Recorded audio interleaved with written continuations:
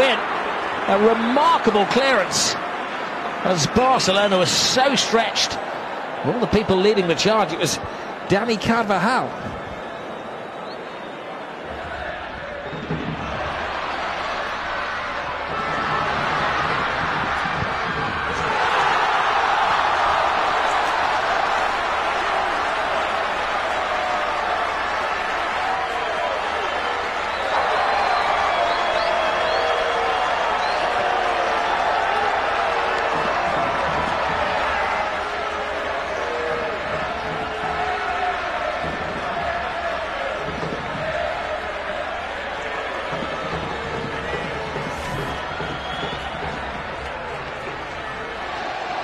Nikolic.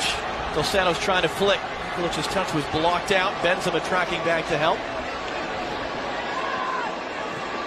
Carney steps in. Carvajal first to react. And Carvajal took a hit there.